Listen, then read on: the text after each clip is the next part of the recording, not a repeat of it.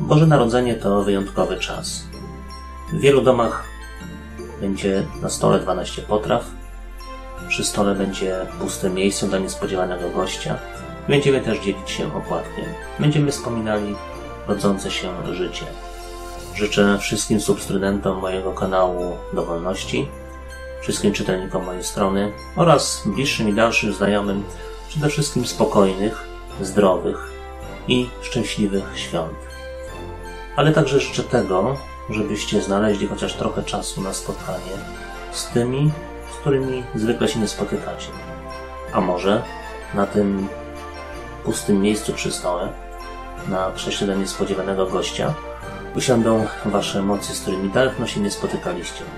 Tego wam życzę i pozdrawiam. Darek Dopierała.